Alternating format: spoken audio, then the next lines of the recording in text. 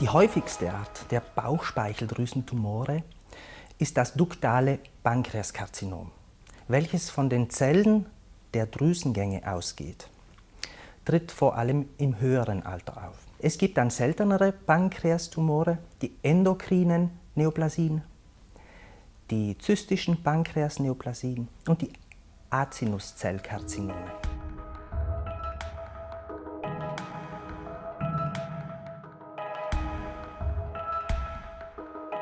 Die häufigsten Symptome des Pankreaskarzinoms sind der Ikterus, das heißt Gelbsucht, eine Verfärbung der Augen und der Haut, ein Juckreiz, Pruritus genannt, Oberbauchschmerzen oder ungewollter Gewichtsverlust.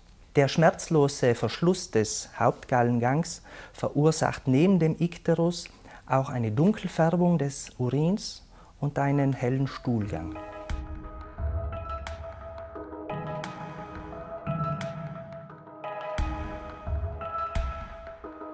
Die Bauchsonographie, Ultraschall, wird häufig als erste Untersuchung verschrieben.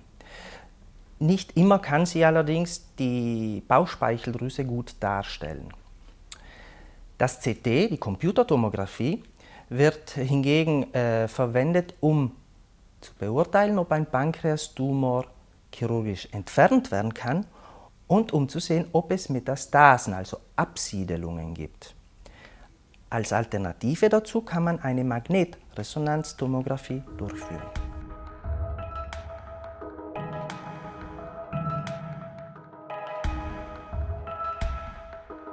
Heutzutage kann man nur durch einen chirurgischen Eingriff, also durch die operative Entfernung des Tumors, eine kurative, also eine heilende Behandlung erreichen.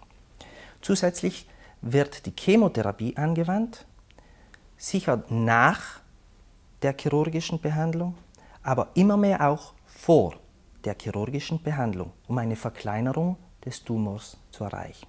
Es gibt nebenher die Strahlentherapie, die zum Einsatz kommen kann, und die sogenannten palliativen Behandlungsmethoden. Äh, sehr wichtig ist eine endoskopische Positionierung einer sogenannten Endoprothese. Das ist ein Plastikröhrchen, der im verschlossenen Hauptgallengang eingeführt wird, um die Gelbsucht zu behandeln. Weiters gibt es chirurgische palliative Methoden, das heißt chirurgische Eingriffe, die den Patienten die Symptome nehmen sollen.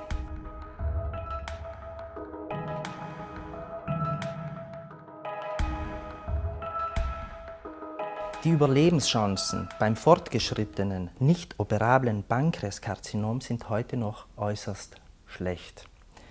Äh, die Chemotherapie, die palliativ verabreicht wird, besteht darin, dass dem Patienten oral oder über die Venen ein Medikament gegeben wird, das die Tumorzellen angreift oder tötet.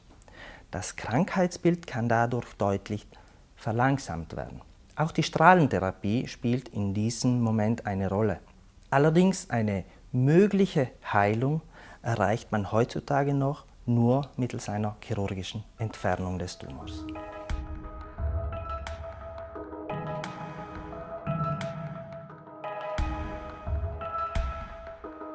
Eine Chemotherapie kann vor einem chirurgischen Eingriff zu einer Verkleinerung des Tumors führen und dabei einen nicht operablen Tumor in einen operablen verwandeln.